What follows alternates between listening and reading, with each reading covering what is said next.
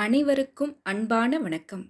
நீங்கள் கதை அலையில் கேட்டுக்கொண்டிருப்பது அமரர் கல்கி எழுதிய அலை ஓசை. படித்துக் கொண்டிருப்பவர் ஹேமலதா ஜெகநாத். அத்தியாயம் ஏழு பத்மாபுரம். சென்னை பட்டினத்தின் ஒரு புதிய பகுதியான பத்மாபுரத்தை பற்றி அறியாதவர்கள் அறியாதவர்களே அவர். தினப்பத்திரிகை வாசகர்கள் ஒவ்வொரு சனிக்கிழமையும் வெளியாகும் பத்திரிகையில் நகர நிகழ்ச்சி குறிப்புகளில் பத்மாபுரம் என்ற பெயரை கட்டாயம் படித்திருப்பார்கள். ஒவ்வொரு ஞாயிற்றுக்கிழமை என்றும் பத்மாபுரம் சர்வஜ்ஞ சங்கத்தின் ஆதரவில் ஏதேனும் ஒரு கூட்டம் கட்டாயம் நடந்தே தீரும்.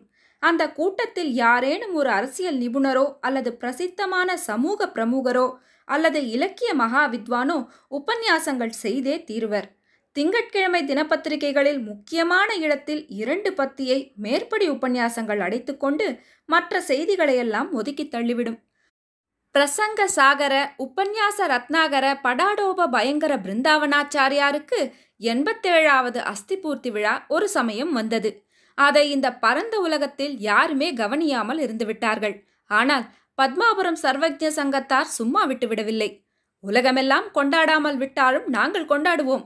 மேதாவியின் பெருமையை எங்களைப் போன்ற மேதாவிகளால் தான் அறிய முடியும். மற்றவர்களால் எப்படி முடியும்? என்று சொன்னார்கள். எண்பத்தேழு அங்குல நீளம் எண்பத்தேழு அங்குல அகலம் எண்பத்தேழு அங்குல உயரமுள்ள ஒரு மகத்தான பிரசங்க மேடையை அமைத்தார்கள். எண்பத்தேழு கால் நட்டு பந்தல் போட்டார்கள்.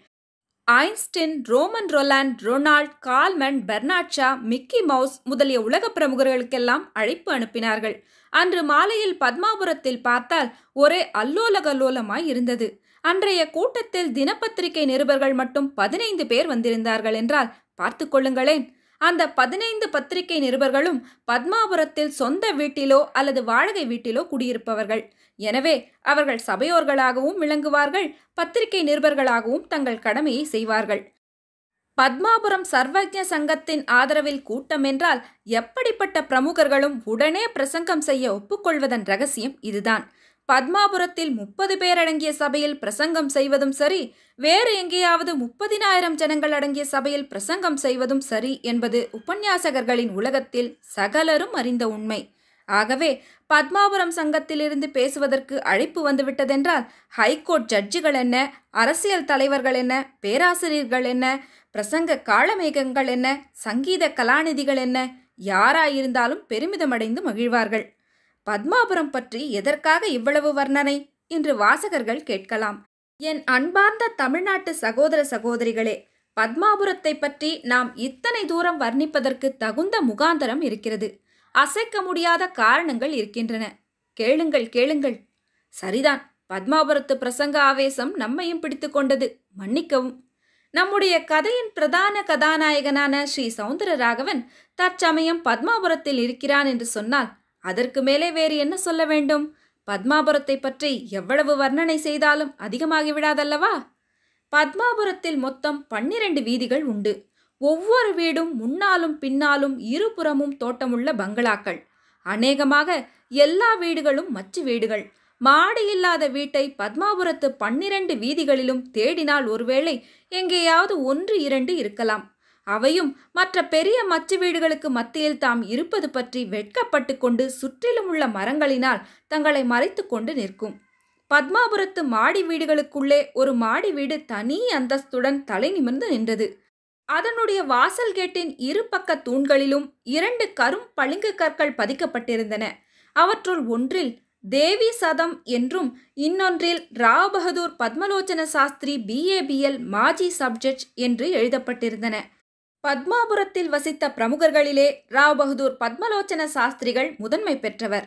பத்மாபுரம் சர்வஜ சங்கத்தின் ஆதரவில் நடைபெறும் எந்த கூட்டத்திலும் பிரசங்க மேடைக்கு பக்கத்தில் போடப்படும் கௌரவ நாற்காலிகளிலே முதல் நாற்காலியில் ராவ் பகதூர் பத்மலோச்சன சாஸ்திரிகளையும் அவருடைய வெள்ளிப்பூன் போட்ட கைத்தடியையும் காணலாம். ராவ் பகதூர் பத்மலோச்சன சாஸ்திரியாரை இன்னும் சில இடங்களிலேயும் அந்த காலத்து மனிதர்கள் கண்டிருக்கலாம். ஆங்கில தினப்பத்திரிகைகளில் நேயர்களின் கடிதப்பத்தியில் அடிக்கடி அவருடைய பெயர் தென்படுவதுண்டு. முக்கியமாக ராவ் பகதூர் பத்மலோச்சன சாஸ்திரியும் பேராசிரியர் பரிவிராஜக சர்மாவும் அவ்வப்போது நடத்தி கொண்டிருந்த யுத்தங்கள் உலக பிரசித்தமானவை. எப்போதாவது காந்தி மகாத்மாவோ பண்டித மதன் மோகன் மாளவியாவோ ஆசிரியர் ராதாகிருஷ்ணன் அவர்களோ தங்களுடைய பொது பேச்சுகளில் பகவத்கீதையை பற்றி குறிப்பிட்டு விட்டார்களானால் வந்தது விபத்து. உடனே ராவ்பகதூர் பத்மலோச்சன சாஸ்திரியார் தமது கைத்தடியை எடுத்து சுவரின் மூலையில் சாத்திவிட்டு கையிலே தம்முடைய ஆய்வந்த உலக்கை ஃபவுண்டன் பேனாவை எடுத்துக்கொள்வார் எடுத்துக்கொண்டு எழுதத் தொடங்குவார். எழுதுவார் எழுதுவார் அப்படியே எழுதுவார். எழுதியதை சட்டைப்பையில் போட்டுக்கொண்டு கையில் மறுபடியும் தடியை எடுத்துக்கொண்டு பத்திரிகை காரியாலயத்துக்கு போய் பத்திரிகை ஆசிரியரை நேரிலே பார்த்து தமது கடிதத்தை கொடுப்பார். கடிதத்தில் என்ன எழுதியிருக்கும் என்று தெரிய வேண்டுமா? காந்திஜிக்காவது மாளவியாஜிக்காவது ராதாகிருஷ்ணனுக்காவது பகவத்கீதையை பற்றி பேசுவதற்கு என்ன யோக்கியதை? என்பதாக ஒரு கேள்வி கேட்டுக்கொண்டு அவர் குறிப்பிட்ட பகவத்கீதை ஸ்லோகத்துக்கு அர்த்தம் இப்படி என்று எடுத்துக்காட்டுவார் அந்த ஸ்லோகத்தை அவர்கள் தப்பாக கையாண்டிருப்பதை எடுத்துக்காட்டி இனிமேல் மேற்படியாளர்கள் வேறு எந்த விஷயத்தை பற்றி பேசினாலும் பகவத்கீதையை பற்றி மட்டும் பேச வேண்டாம் என்று எச்சரிக்கை செய்து முடித்திருப்பார். சாஸ்திரிகளின் கடிதம் பிரசுரமான இரண்டு நாளைக்கெல்லாம் பரிவிராஜக சர்மாவின் கடிதம் பிரசுரமாகும் என்று வாசகர்கள் நிச்சயமாக எதிர்பார்த்து கொண்டிருப்பார்கள். அவர்கள் எதிர்பார்த்தது வீண் போகாது. சர்மாவின் கடிதமும் அச்சில் வரும். அதில் சர்மாவானவர் காந்திஜியையும் மாளவியாவையும் பற்றி சாஸ்திரியார் எழுதியிருப்பதை ஒப்புக்கொண்டு பலமாக ஆதரிப்பார். அவர்களுக்கெல்லாம் பகவத்கீதையை பற்றி ஒன்றும் தெரியாது. ஒன்றுமே தெரியாது. தங்களுக்கு பகவத்கீதையை பற்றி ஒன்றுமே தெரியாது என்பது கூட அவர்களுக்கு தெரியாது என்று சொல்லிவிட்டு ஆனால் என்று ஆரம்பிப்பார். ஆரம்பித்து ஓர் அதிசயமான கேள்வியை போடுவார். ஆனால் நமது ராவ் பகதூர் பத்மலோச்சன சாஸ்திரிக்கு மட்டும் பகவத்கீதையை பற்றி தெரியுமா? பகவத்கீதையை அவர் குருமுகமாக பாடம் கேட்டதுண்டா? பாராயணம் செய்ததுண்டா?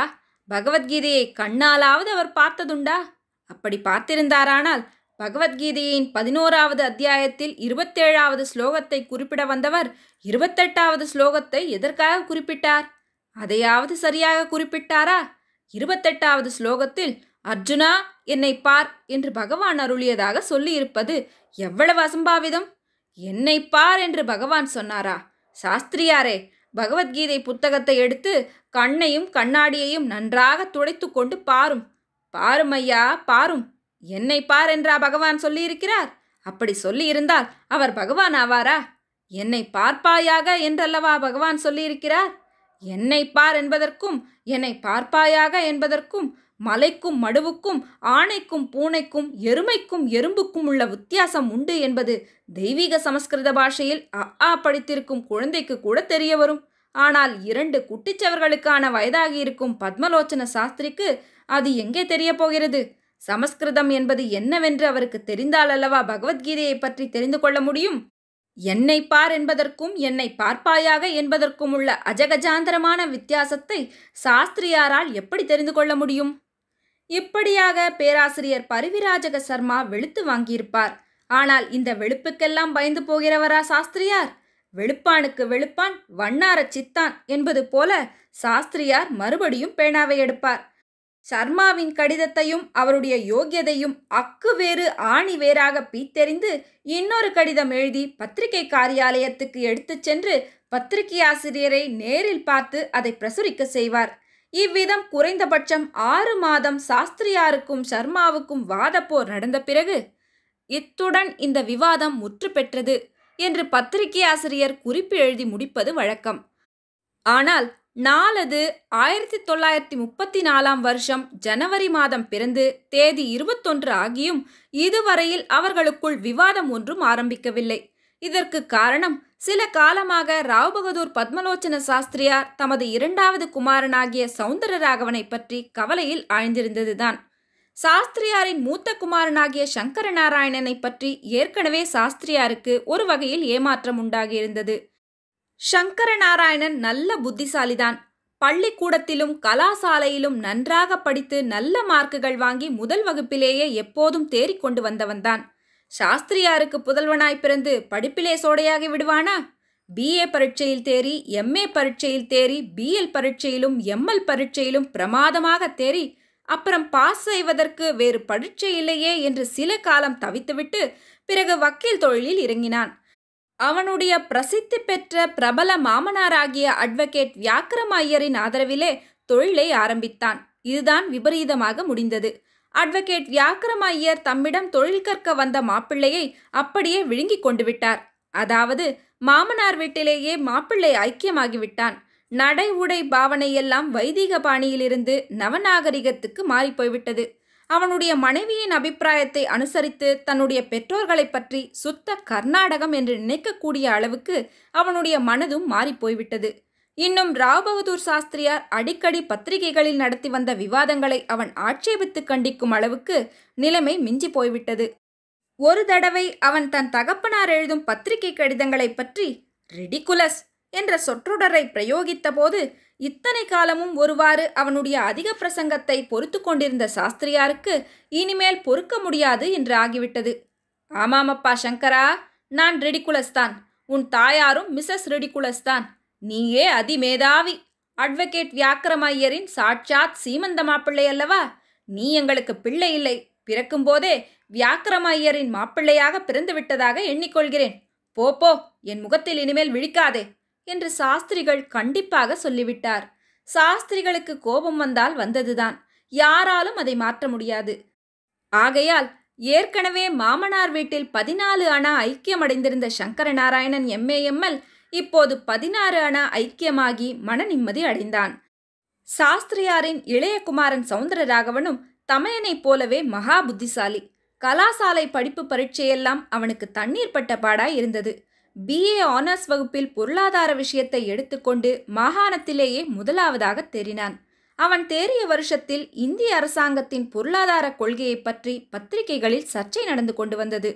ஒரு ரூபாய்க்கு பதினெட்டு பென்ஸ் கிடைத்தால் நல்லதா பதினாறு பென்ஸ் கிடைத்தால் நல்லதா என்பது பற்றி சர்ச்சை.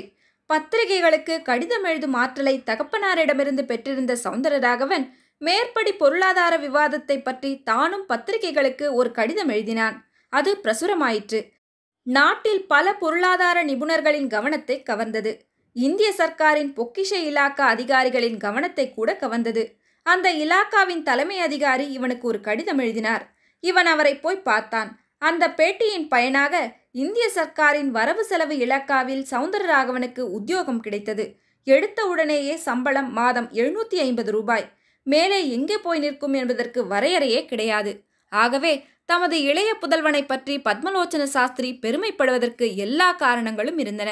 அப்படி இருக்க அவர் கவலைப்படுவதற்கு காரணம் என்ன? வேறு ஒன்றுமில்லை அவனுடைய கல்யாணத்தை பற்றிதான். சாதாரணமாக பெற்றோர்கள் பெண்களின் கல்யாணத்தை பற்றி கவலைப்படுவதுதான் வழக்கம்.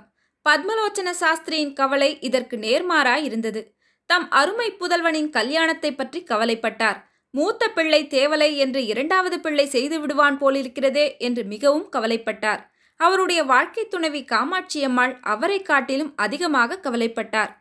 இவர்கள் கீழ் வீட்டில் கவலைப்பட்டு கொண்டிருக்கையில் நாம் மேல் மச்சுக்கு சென்று நம் கதாநாயகனை சந்திக்கலாம். ஏழாம் அத்தியாயம் முடிவுற்றது. நன்றி.